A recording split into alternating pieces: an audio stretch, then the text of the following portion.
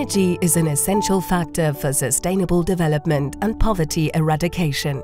Nevertheless, it is estimated that still about 2.8 billion people have no access to modern energy services and over 1.1 billion do not have electricity at all. Around 4 million people are dying prematurely every year due to indoor pollution resulting from cooking and heating with unsustainable fuels.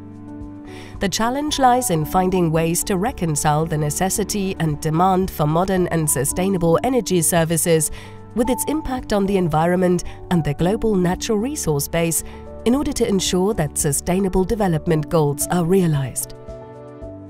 The energy professionals in Gopa Consulting Group for practical solutions in developed and developing countries are our experts in Gopa Intec.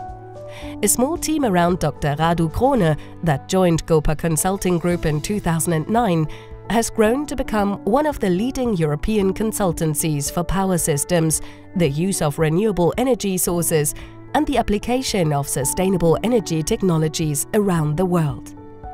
Today, a team of more than 130 engineers, economists and consultants forms the group's service line Energy.